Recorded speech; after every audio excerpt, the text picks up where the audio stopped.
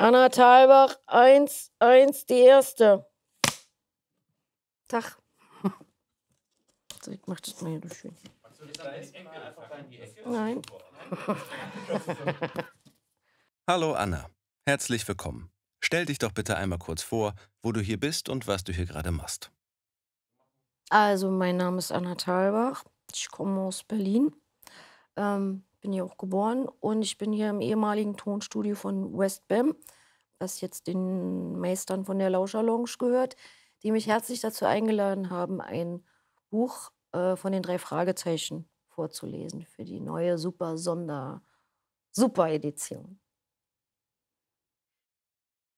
Welche Beziehung hast du zu den drei Fragezeichen? Also ich glaube, ich bin hier, weil ich schon mal eine Folge aufgenommen habe. Und das war, glaube ich, wenn ich mich richtig erinnere, Folge 150 auf Schallplatte. Also da durfte ich auch noch zu denen nach Hamburg fahren, zu den Oldschool-Europa-Leuten, die das alles noch hier auf Band schneiden und so, ne? So richtig oldschool alles und ja. Ich fand es irgendwie Ehrensache. Ich finde auch, wenn man selber jetzt nicht ein totaler Nerd ist von den drei Fragezeichen, hat drei Fragezeichen in Deutschland doch einen gewissen Kultstatus erreicht. Kann sich sicherlich auf eine Stufe mit den Winnetou-Filmen stellen, kann sich, ähm, was gibt es denn da noch? Drei Fragezeichen, Winnetou, Edgar Wallace-Filme.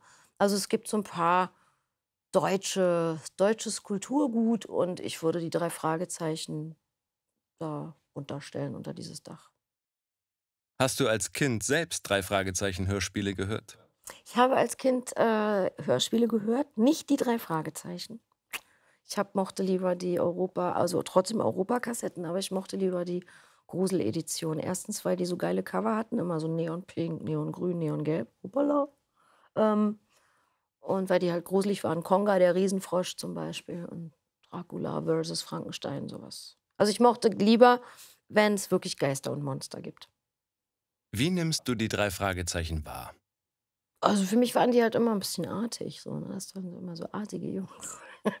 Und ich fand halt, wie viele Frauen, die Bad Boys, natürlich immer nur ein bisschen krasser. Also ich verbinde eigentlich die ganzen Jungs, die das immer gehört haben, die diese Kassetten gesammelt haben. Also bei uns im Internat haben die die Kassetten ja dann, wie, viele andere auch eben irgendwann auswendig gekonnt. Und dann haben sie uns Mädchen oft eingeladen mitzuhören und haben dann sich versteckt in ihrem im Zimmer und sind in den entscheidenden Momenten dann aus dem Schrank gesprungen oder haben dir irgendwas Nasses ins Gesicht gemacht oder so, dass du sozusagen so, ein, so live, live aktiv Teil des Hörspiels warst. Daran erinnere ich mich tatsächlich sehr gerne. Warum hast du dir die Folge Die Geisterinsel ausgesucht? Na, weil ich ja, schon, wie gesagt, ich mag ja Grusel und ich mag auch Geister und ich wusste zwar, dass es bestimmt kein echter Geist ist, aber wenigstens kam das Wort Geist vor. Also ich hätte noch der sprechende Totenkopf oder so, das hätte, aber das war dann nicht mehr frei. Wie hat dir die Geisterinsel gefallen? Ich fand sie okay. Also ich fand sie jetzt noch ein bisschen, es hätte noch ein bisschen gefährlicher sein können. Wenn ich sie geschrieben hätte, hätte ich vielleicht noch was erfunden, was die, die Geschichte von dem Mädchen noch ein bisschen stärker bedient. Also ich hätte gerne mehr über sie erfahren. Ähm, vielleicht hätte ich auch noch einen Friedhof eingebaut, wo sie beerdigt ist und plötzlich nicht mehr da ist. Keine Ahnung. Also ich finde, man hätte da noch ein bisschen bisschen, bisschen, bisschen mehr reingehen können. Aber ansonsten hatte ich Spaß mit der Geschichte. Fährst du gerne Karussell? Ja, sehr viel. Mhm. Würdest du da eine Parallele ziehen, weil sie wollte ja partout nicht runter, selbst bei Unwetter und ist dann vom Blitz erschlagen worden. Bist du auch jemand, der den Hals nicht vollkriegt? Also im Sinne von, ich will nicht aufhören? ja, also da, da, die Maßlosigkeit ist sicherlich auch eine der Todsünden, die mir innewohnt. Aber ob ich die jetzt auf dem Karussell erlebe, wage ich zu bezweifeln. Also ich mochte früher gerne dieses Ding, ach, wie hieß denn das nochmal? Rotor. Also da wurde man an die Wand gepresst und der Boden ging weg. Das fand ich ziemlich cool. Wie legst du die Figuren und Charaktere stimmlich an? Also ich habe sofort einen Schauspieler oder also wie ich das dann, wie ein Film sieht, läuft es ab vor meinem Auge. Und dem versuche ich dann gerecht zu werden, sozusagen. Hast du ein paar Stilblüten im Skript gefunden? Also jetzt nicht so extrem. Ich, ich, nö, eigentlich hatte ich es mir extremer vorgestellt. Ich fand es ging noch. War noch es ging, ne? Ja. Fand ich nämlich auch. Aber äh, wir sind über eine Stelle gestolpert, das weiß ich Ja, das Essen wurde gerichtet. Das macht man natürlich nicht mehr. Also es ist, also weil das ist sozusagen dieser Oldschool Edgar Wallace Butler-Sprech. Es ist angerichtet. Aber so heute würde man sagen, ich habe den Tisch gedeckt. Ja. Und wir hatten eine komische, äh, wie sagt man, eine Nominisierung. Äh, Justus der Zurückgebliebene war auch noch sehr schön. Ja, genau, Justus der Zurückgebliebene, das war natürlich Zurückgelassene, würde man eher. Heute sind ja zurückgebliebene Menschen auf Sonderschulen. Ja, oder man würde einfach sagen, der, der zurückgeblieben ist. Ist, genau, ja. ja. Aber das kommt auch heute noch vor in Übersetzungen von Büchern, wo man manchmal so. Also, wo man das Gefühl hat, sagen wir mal so, mein Vater war Übersetzer. Also, mein, er lebt leider nicht mehr. Mein Vater war Schriftsteller und Übersetzer. Der hat viel Shakespeare übersetzt und viel Tschechow. Und ich habe da sehr, sehr viel bei ihm gelernt übers, über die Kraft und über, die, ja, über den ganzen Umgang mit Übersetzungen. Also das, was ja auch wahnsinnig viel Auswirkungen hat, wenn man zum Beispiel überlegt, wie, wie die alten Übersetzungen der Bibel sind. Das hat eigentlich teilweise gar nichts mit dem zu tun, was da wirklich drin steht und so. Also man kann mit einer Übersetzung einfach viel kaputt machen und man merkt bei heutigen Übersetzungen an, dass die teilweise mit Google übersetzen.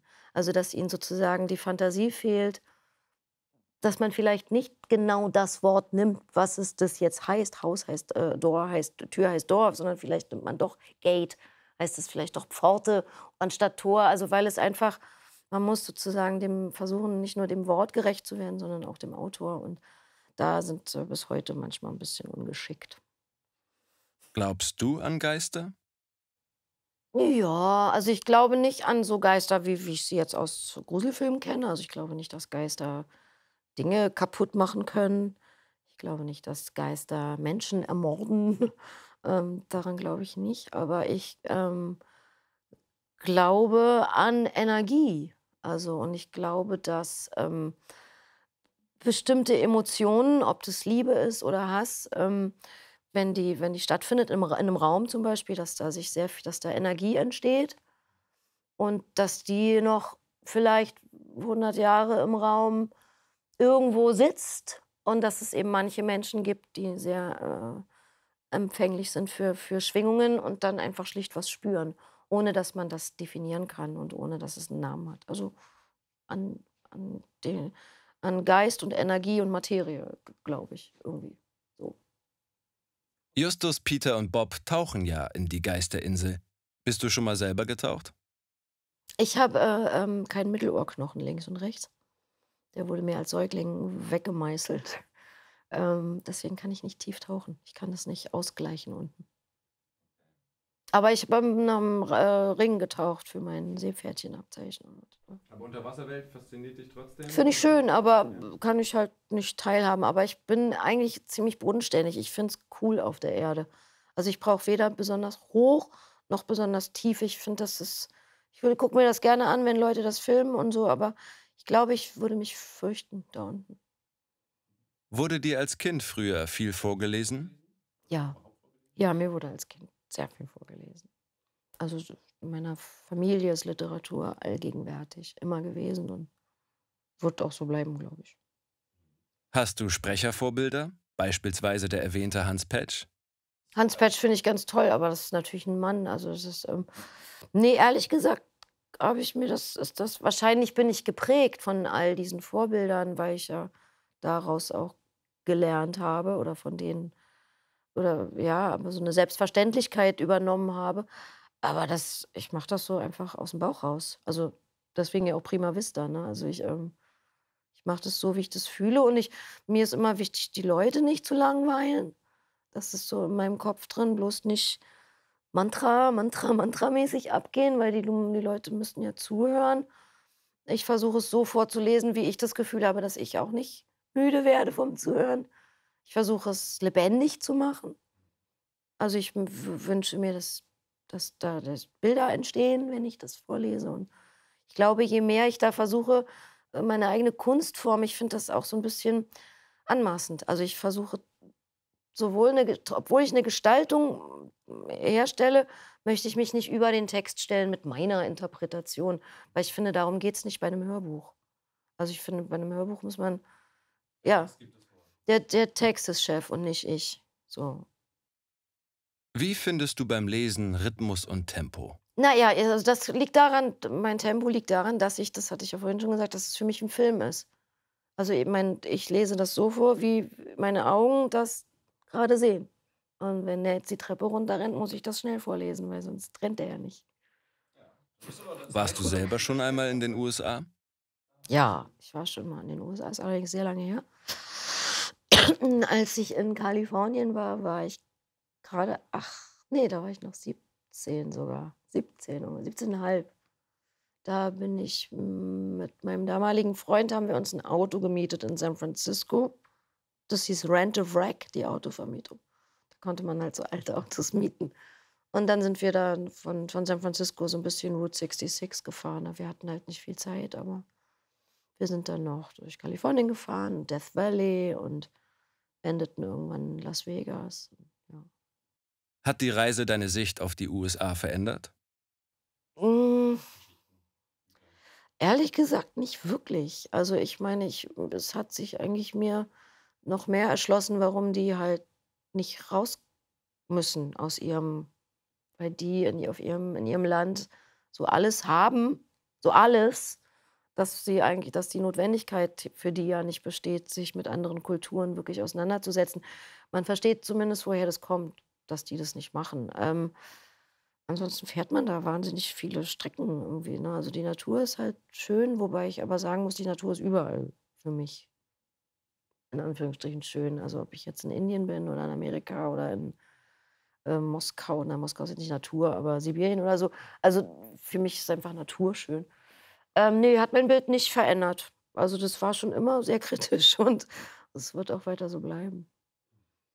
Ja, ne, also schön zuhören, schön weiterempfehlen, ähm, nicht raubkopieren. Ähm, und bei meiner Folge drei Ausrufezeichen dahinter machen, bitte. Vielen Dank, Anna, für das Gespräch und deine Hörbuchinterpretation. Sehr gern. Fein. Ich wollte doch meine Beatles-Socken noch zeigen. Die, die vier guten.